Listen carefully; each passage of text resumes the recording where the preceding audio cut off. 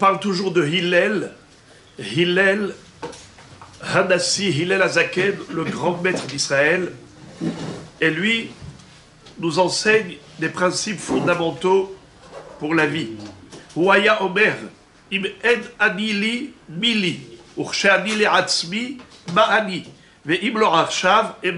Traduction, il avait l'habitude de dire, si moi, je ne suis pas pour moi, je ne travaille pas pour moi, qui le fera à ma place? Et quand moi je suis pour moi, qui suis-je? Que suis-je? Ça veut dire, si je ne vais pas demander de l'aide à Kadosh Baruch eh bien, je ne pourrai rien faire. Dans le sens où, même quand j'essaye de travailler pour moi-même, parce que personne ne fera le travail à ma place, mais il faut le savoir que sans l'aide de Dieu, on ne pourra pas parvenir à un résultat concret. La réussite, c'est grâce à Dieu. Alors, dire je ne vais rien faire, tout se fera sans travailler, non, ce n'est pas possible. Il faut travailler, il faut agir, il faut faire. Mais même lorsque tu as fait, ne crois pas que c'est grâce à toi qu'il y aura la réussite. Sans Dieu, rien ne se fera. Donc il a dit, Im en anili mili. Si moi je ne travaille pas pour moi, qui le fera à ma place? Mais même Kshani les Hatzmi, et quand je travaille, oui, en effet, pour moi, ne crois pas que la réussite, elle est grâce à ton travail. Elle est grâce à la Siyata d'Ishmaya, à l'aide céleste. Veim et bataille. Aussi, il faut savoir que le Yetzerara, nous pousse toujours à reporter à plus tard, au lendemain. Eh, eh bien non. Imlor Arshav et bataille. Si ce n'est pas maintenant, c'est quand? Le Hafetz Haïm avait l'habitude de dire que le juif doit se souvenir toujours des trois phrases de ce pasouk. Vehayu adevarim ha'ele. Asher amochi betzavecha hayom. Alevavecha.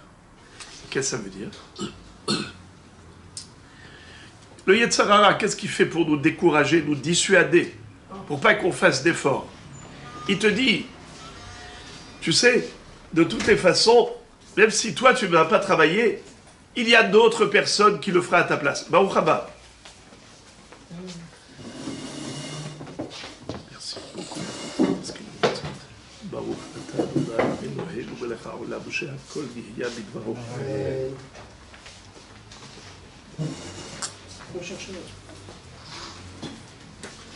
le travail spirituel,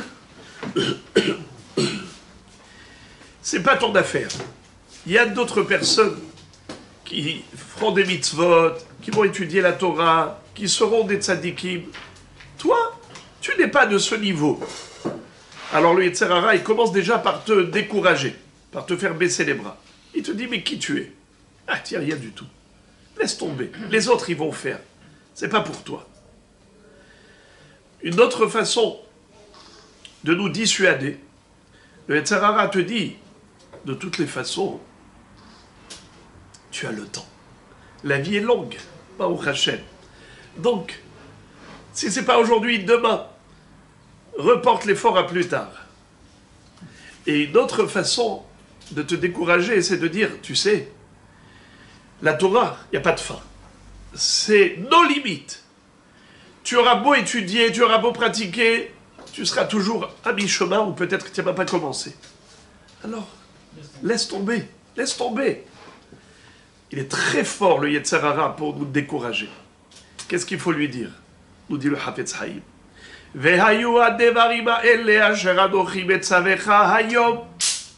Qu'est-ce que ça veut dire? Tu veux savoir qu'est-ce qu'il faut étudier? Voilà, juste ces quelques lignes, ces quelques mots là que tu dois étudier aujourd'hui, c'est tout. C'est tout. Tu vois tout ce chasse là et toute cette sifria, tu la vois, tu te dis attends, moi j'ai même pas une goutte de la mer de tout cela. Et je n'arriverai jamais. Non, on t'a pas demandé de tout terminer, de tout avaler. On t'a demandé de faire aujourd'hui ce que tu peux.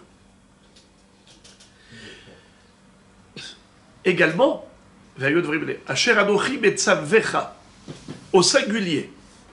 Ces paroles que je t'ordonne aujourd'hui, je t'ordonne au singulier. C'est comme si dans le monde entier, il n'y avait qu'une seule personne. C'est toi. Tu ne peux pas compter sur les autres. Les autres, ils vont faire les mitzvot, les autres vont pratiquer le judaïsme, les, autres, ils vont construire le monde. C'est pas moi. Moi, je n'ai pas de responsabilité. Pas du tout. Tu dois t'imaginer que Akadosh Baruch s'adresse à toi en privé et au singulier. Dieu te parle en te disant Et si toi tu vas pas le faire, qui va le faire? Et aussi, ne te dis pas demain, un jour je ferai tchouva, un jour je vais étudier. Non, c'est aujourd'hui. Imagine-toi que la vie, la vie, elle est que d'un jour. Et donc, si tu n'avais qu'un jour à vivre, et on te dit, ben non, vas-y, réfléchis, comment tu vas exploiter ta journée? Qu'est-ce que tu vas faire de ta journée? Imaginons, Hazve Shalom, quelqu'un, les médecins lui disent, sachez qu'aujourd'hui, c'est les dernières 24 heures que vous avez. Qu'est-ce que va faire cette personne? Il ne va pas lâcher le Teilim, il ne va pas lâcher le, le, Sidour, il va faire que des mitzvot, le maximum, et au maximum. Pourquoi? Parce qu'il sait que, ça y est, maintenant c'est le Baba et il veut récolter les fruits de son labeur. Qu'est-ce qu'il fait le Yetzirara Il te dit, de toute façon, tu as le temps, tu as le temps. Si ce n'est pas aujourd'hui, c'est demain, c'est pas demain, après-demain. T'inquiète. Eh bien, c'est ça ce que tu dois lui dire, non? Tu n'as que ça à étudier, pas beaucoup. Euh, il n'y a que toi, et personne d'autre ne peut le faire à ta place. Et Hayom, ne pense pas que demain tu vas pouvoir le faire. On ne sait pas de quoi sera fait le lendemain. Dis-toi qu'aujourd'hui, c'est aujourd'hui, il n'y a qu'aujourd'hui, il n'y a que ce jour que tu dois exploiter. C'est ça ce qu'il disait Hillel Azaken. Im en anili, mili, ma'ani, ve im lo et matai. Si ce n'est pas maintenant, c'est quand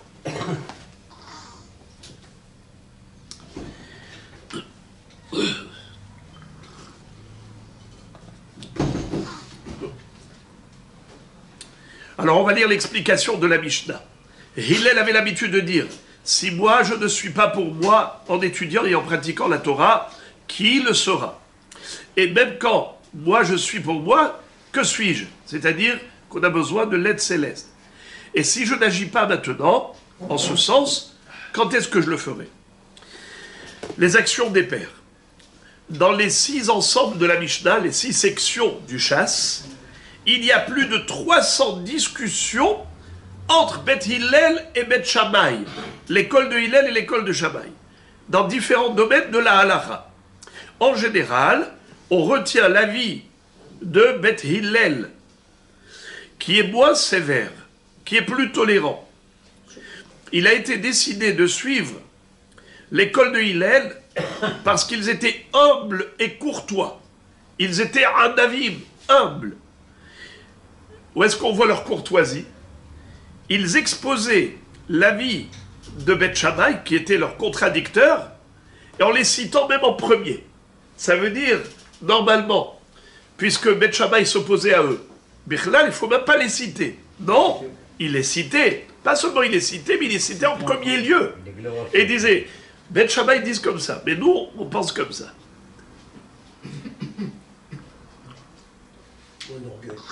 entre parenthèses, Tosfot, dans ma Seret Aïrouvin, disent que Beth Hillel, la halakha, s'il a été tranché selon leur avis, c'est parce qu'ils étaient aussi la majorité.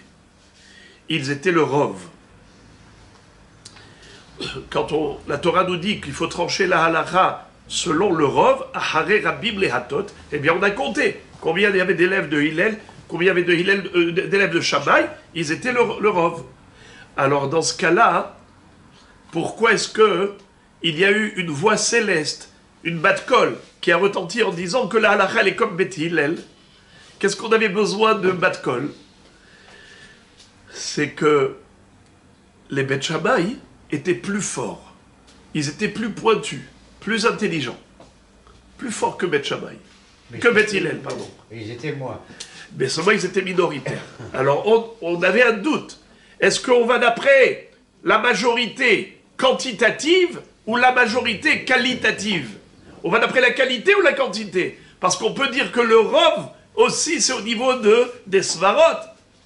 Eh bien c'est pour ça que la, la, la Batkol, la voix céleste, a dit et a proclamé Halacha Kebet Hillel. Mais on avait une bonne raison de se douter. Et pourquoi Kadosh Baruch a donné raison à Beth Hillel? Parce qu'ils étaient Adavim, parce qu'ils étaient humbles. Hillel inst- institua le prosboul. C'est quoi le prosboul Hier, on a eu l'occasion de le rappeler. C'est que pendant la Shemitah, à la fin de la Shemitah, il faut re- renoncer à ses dettes.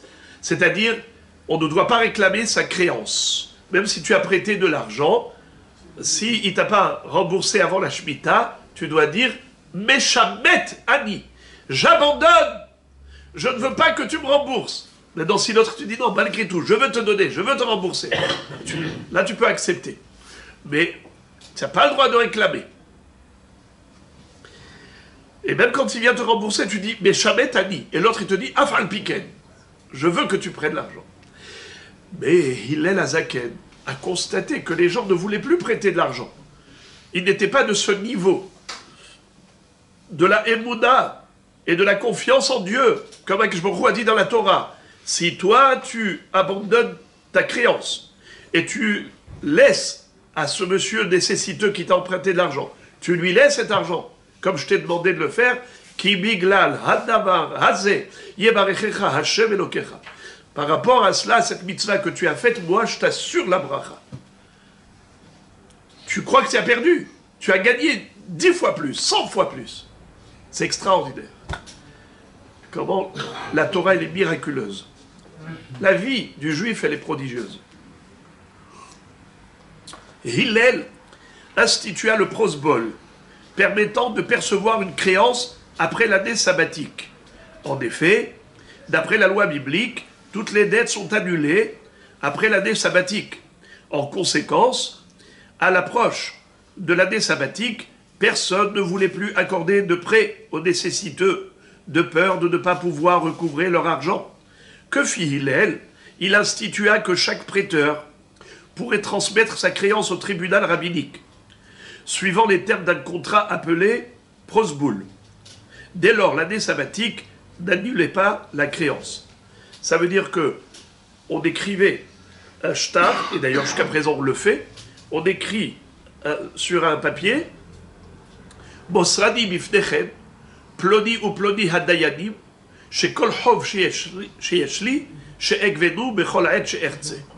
Ça veut dire que ce n'est plus moi maintenant qui réclame ma dette, c'est vous le Beddin.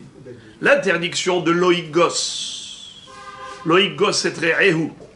Ça veut dire qu'on n'a pas le droit de réclamer la dette. Cette interdiction, c'est d'Afka si c'est moi qui réclame la dette. Mais si c'est le Beddin, il n'y a pas de Issour. Et donc c'est ça le prosboul.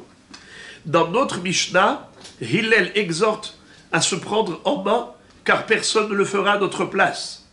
Ainsi, nous dit la Gemara dans Masechet Avodazara, page 17. Elle raconte une histoire d'un homme qui a fait Teshuvah. Il va s'appeler Rabbi Hazar ben Nourdaya. Mais au début, c'était un grand rachat, un impie. Il s'appelait El Hazar ben Nourdaya et on va voir comment il a fait Teshuvah. Rabbi Hazar ben Nourdaya, qui avait eu des relations avec toutes les prostituées, un jour, il a entendu parler d'une prostituée d'une ville d'outre-mer qui demandait une pochette de dinars comme salaire. Il prit un sac de dinars et il traversa sept canaux, sept canals d'eau pour venir chez elle. Pendant leur rapport, elle lâcha un vent et lui dit De même que ce vent ne reviendra pas, Elazar ben Dourdaya ne pourra jamais revenir sur le droit chemin. Pourquoi elle a, fait ça? Elle était gênée. Elle a lâché comme ça une mauvaise odeur, et puis elle a dit ça. Comme cette odeur ne peut plus revenir à sa place, ainsi toi aussi, tu ne peux plus revenir. J'ai vu une fois une explication, plutôt j'ai entendu de mon maître, qui a dit quelque chose d'extraordinaire. Il dit que elle a senti qu'il avait une âme juive. Et que quand il a fait la Havera, il avait comme un pincement de cœur. Qu'il avait comme un problème de conscience. Il savait qu'il fait une Havera. Et donc elle a senti que c'était pas un rachat comme un goy qui se serait lâché à cœur joie. Elle a senti que, comme s'il y avait un pincement de cœur. Alors elle a essayé justement de le libérer, lui dire de toutes les façons, tu pourras jamais faire tes chouvas, le ciel ne va jamais t'admettre et t'agréer. Alors lâche-toi. Eh bien non. Justement, elle a fait, elle a eu l'effet inverse. Parce que justement, elle a, elle a dit qu'il ne peut pas faire tes chouvas, c'est ça qui l'a tiré de sa torpeur. Parce que toujours il se disait, je peux faire tes chouvas un jour. Et là, il a compris que les portes sont fermées. Les portes du ciel sont fermées. Alors, à ces mots, qu'a-t-il fait? Il alla s'asseoir entre les montagnes et les collines. Il déclara Montagnes et collines, intercédez en ma faveur auprès du ciel. Eh bien, les montagnes lui répondirent Avant d'intercéder en ta faveur, nous devons d'abord le faire pour nous-mêmes, car il est écrit que les montagnes bougent, que les collines s'ébranlent. Un passage dans. Qui a harim yabushu ve'agevaot temutena. Alors, il s'écria Les cieux et la terre intercédaient en ma faveur. Ils répondirent Avant d'intercéder en ta faveur, nous devons le faire pour nous-mêmes, puisqu'il est écrit Car les cieux s'évanouissent comme la fumée, la terre s'use comme un vêtement. Comment c'est marqué?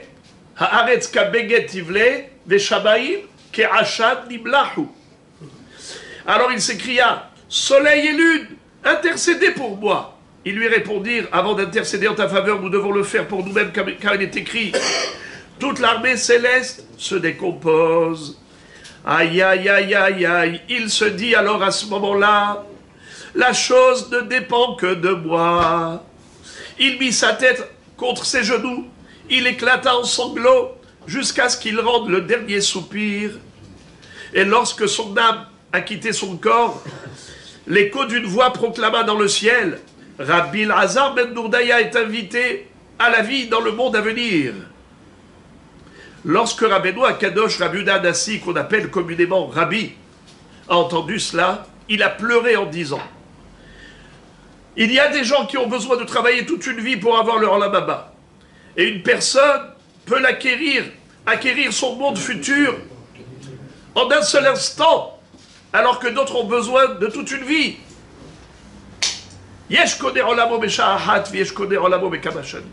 Et il a dit, et là, non seulement que le Baal Teshuvah, on dit voilà, tu peux revenir, on agrée, on exauce ta prière et ta Teshuvah. Non seulement ça, on l'appelle Rabbi, Rabbi Azar ben Dordaya, Ribono Shel Olam. Qui est l'élève? Qui sont les élèves de Rabbi Azar ben Dordaya Un homme qui a été au plus bas des niveaux. Il a fait Teshuvah la dernière seconde.